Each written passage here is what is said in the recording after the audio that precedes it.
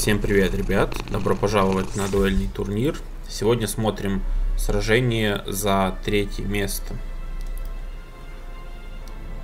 Для тех, кто подзабыл, э, в третье место передвинулись Рак и Нуаду.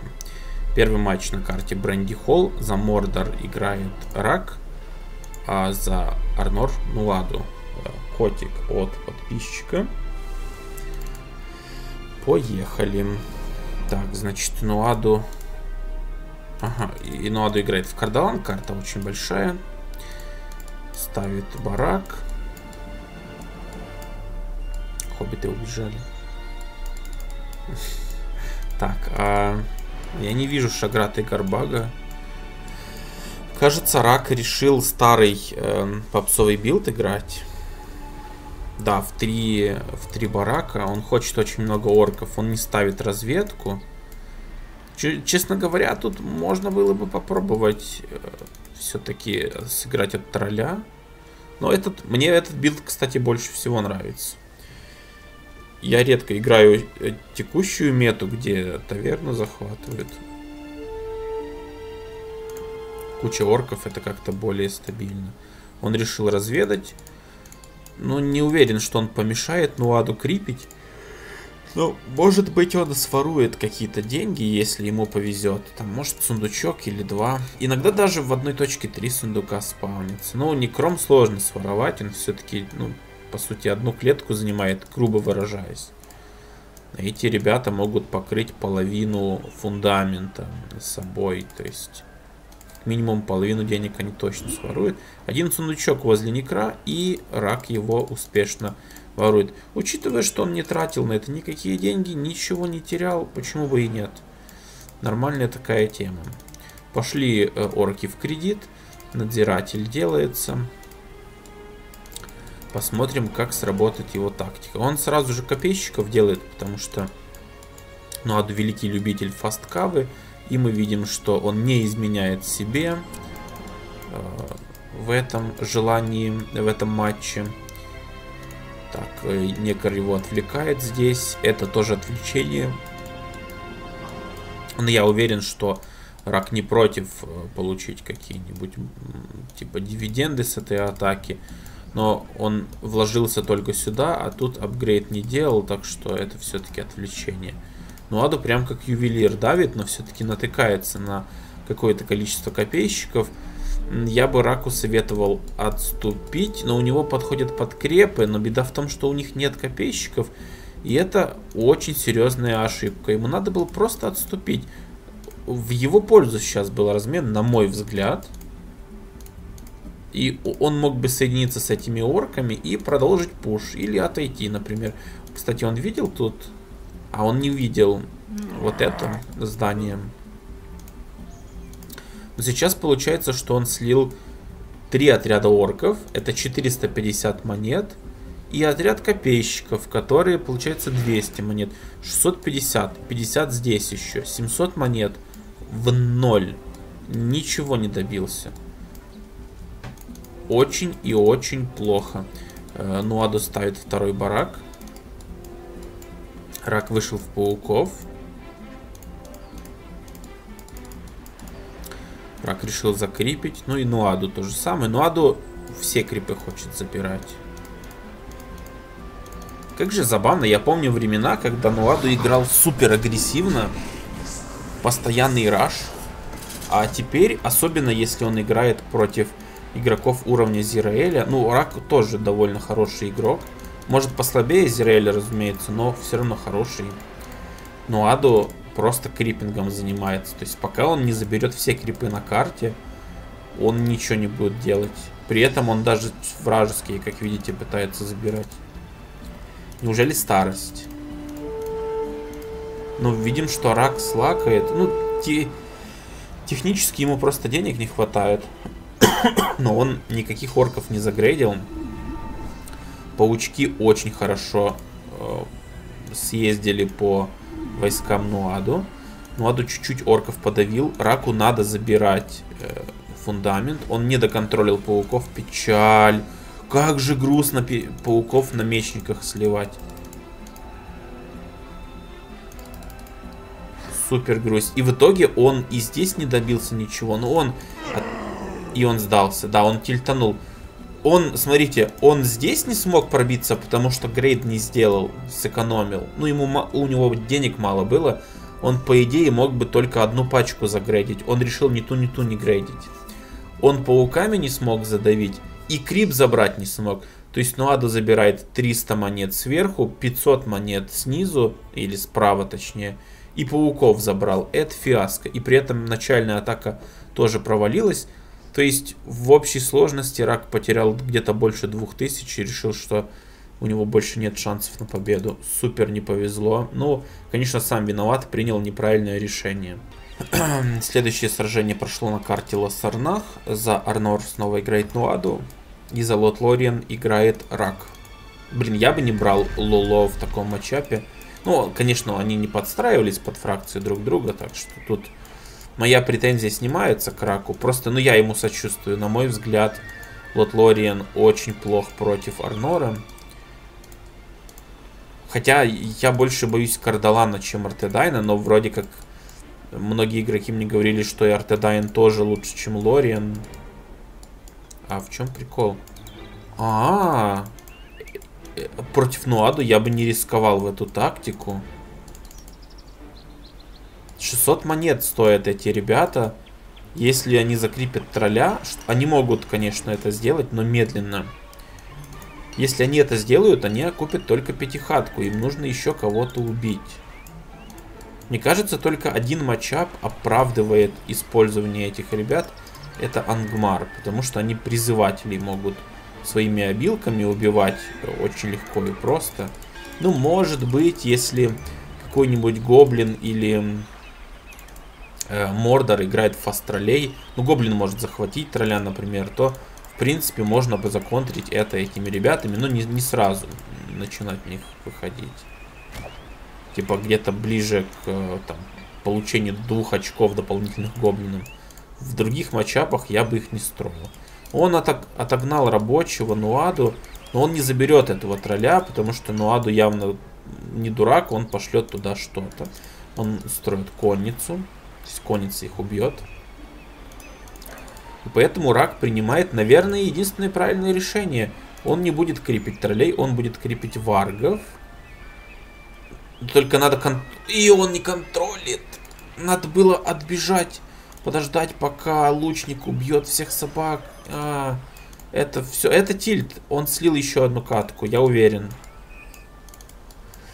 А Нода просто идет на э, следующий крип тролля. Давайте я на всякий случай объясню, почему ему, почему Раку не стоило ни сюда бежать, ни сюда. Потому что почти, почти каждый игрок знает, что Нуаду использует такую тактику. Очень часто за Гондор, за Арнор. То есть фаст барак, копейщики, снос барака, потом фаст конюшня, конница и снос конюшни. То есть у него очень быстро есть отряд для крипинга и очень быстро есть отряд конницы. Э, Румили и Арафин никогда в жизни не выживут против отряда конницы, да любой даже. Ну, может, разве что ангмарской начальной, вот этой вот. То есть она приедет сюда, это очевидно, потому что Нуаду не хочет давать деньги противнику. Как только он приедет сюда, увидит, что здесь никого нет, рак же не дурак, не хотел это в рифму говорить, сразу там крипится. То есть он не успеет крип снести, он тролля бы убил и там покоцал сильно здание. В итоге Нуаду бы его убил и забрал бы без какого-либо размена. Если бы он пошел сюда, то он наткнулся бы на вот этих ребят. То есть Нуаду сразу бы знал точно, где находится его противник и сделал бы то же самое, проконтрил бы его героев. Вот. Но, к сожалению, Рак хоть и выбрал вроде самое правильное решение, на мой взгляд, но он не смог его реализовать. И в итоге у него ужасный старт в неприятном матчапе. Помянем. Кажется, он лосей решает добавить. Ну, по идее, у, у него только один вариант. Это играть от дефа. Может быть, лоси помогут ему. Картен лосей очень хорошо убивает, но Нуаду не любит играть в героев. Он некоторых дешевых делает, как, например, Халдер за Лориан, он его... Я заметил, по крайней мере, что он часто его строит. Вот, но... Блин, ну на самом деле, может он и Картаяна любит строить, не знаю. Кажется, Рак отбил один крип. Две пачки мечников тут готовы. Сражаться за деньги. А, что по обилкам? Ворчант на сдувалку. Ветерман в ФКД. Держится в копейщиках, чтобы не в копейщиках, чтобы не огрести. Две сотки может получить. Три сотки получает. Идеально. Но теперь надо валить, потому что мечники всех убьют. Держаться надо возле копейщиков, это немного неловко, но по идее, если он через мост пойдет, то он должен выжить. Они не смогут его обогнать, как и конница не сможет. Он решает немного по-другому поступить. Ну окей. Вроде он тоже в порядке. Тут бегают копья и появились лоси. Ему надо больше. Он заказывает второй отряд, окей. Если бы я сделал, если бы я делал ставку на лосей, как он, я бы, ну, как минимум два отряда, может даже три бы построил. Я все еще не уверен, что это сработает, но попробовать можно. Если он сможет сейчас задефать все вот эти вот попытки атаки от Нуаду, то в принципе в лейте Лориан нормально себя должен чувствовать против Арнора. Так, попытка давить кажется неудачной. Еще лоси выехали. Но нужно еще учитывать один момент. Лоси это конные лучники. Ну, очевидно. Конные лучники не имеют такой хорошей брони, как обычные конницы. И вот что происходит. Если вы не давите постоянно, а даете им получать урон, то даже мечники могут легко их перебить. И то вот, вот что мы видим, собственно. Э, Нуаду просто обычными мечниками легчайше законтрил. То есть, ну, Раку придется запотеть. Пришлось бы запотеть, он уже не запотел. Чтобы эта тактика сработала.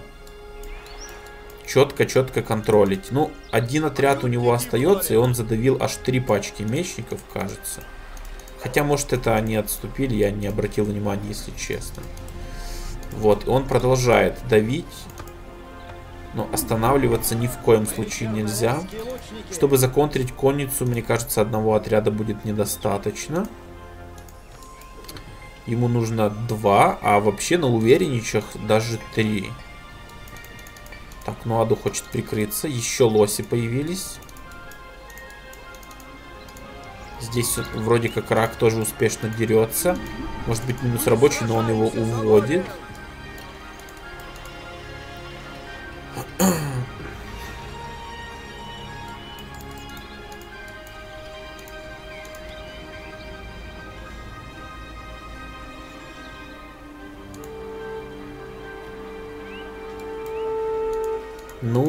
Кажется, он задефал этот Малорн. То есть неудачный размен для Нуаду. А ну-ка, давайте сравним. 7 очков, 385, 7 очков, 490. Окей, это еще не камбэк. Возможно, тот слив того отряда очень сильно подгадил Раку. Не смог он закамбэчить. Но это не критично. То есть э, Рак может сражаться. Как же четко заныкал конницу Нуаду. Рак не обратил на это внимания. И не, не забываем. Нуаду выигрывает 500 монет. Хотя... Нет, я вам наврал. Рак забрал 600. Нуаду выигрывает 400 монет. Рак, Рак забрал двух варгов. Нуаду забрал двух троллей. Окей. То есть чуть-чуть денег, чуть-чуть экономики. Если Рак сможет еще пару раз успешно задефать эти атаки, я не понял, зачем он закинул сдувалку. У него есть копья? Или нет? А, у него копья очень сильно коцаны. Он испугался, походу, что конница сможет подавить. Окей. Да, даже трех отрядов недостаточно, если конница уезжает, чтобы ее эффективно убивать. И контратака пошла. Так, ну сейчас, в принципе, Нуаду должен терять эту пачку. Рак немного... А, это не до контроля. Я думал, он давить будет. Мне кажется, ему можно стрелять. По копейщикам, по крайней мере. не получается ему нормально войска поставить. Он теряет пол пачки лосей, делает халдера. Я бы советовал сделать апгрейд фонтана. В итоге он решает вообще забить на эту атаку, потому что с другой стороны еще целая куча идет. Один отряд лосей практически качанный, и он получает второй level. Он давит дальше. Очень даже неплохо на самом деле.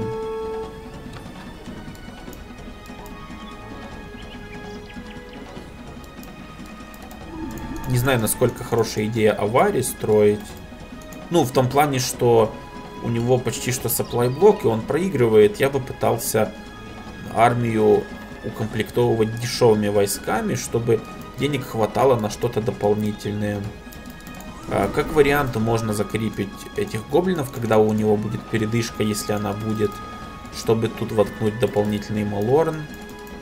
Ему нужно вылезти из supply блока срочно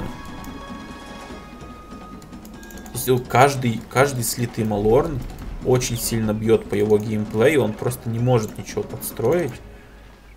А, а кого он потерял? А, тут какие-то отряды пробегали, он их потерял, то есть он может несколько отрядов добавить.